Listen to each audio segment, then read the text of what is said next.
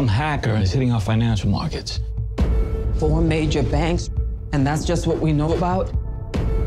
If we want clues to the hacker's identity, we need a man named Hathaway. What do we know about this guy? He's a convicted hacker serving 15 years at MIT. Genius coder. I want you to commute my sentence for identification and the apprehension of the guy you're after. Those are the terms. Is he political? Terrorist attack, any declaration? The guy we're working will drop the big hammer and not think twice about it. He's on the move again. Chicago, now China. This is only the beginning. He's still writing. What for?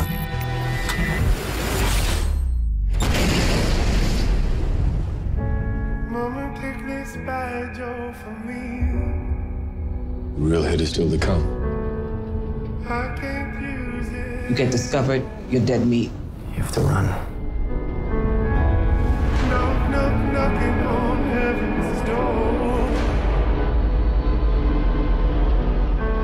This isn't about money. This isn't about politics. I can target anyone, anything, anywhere.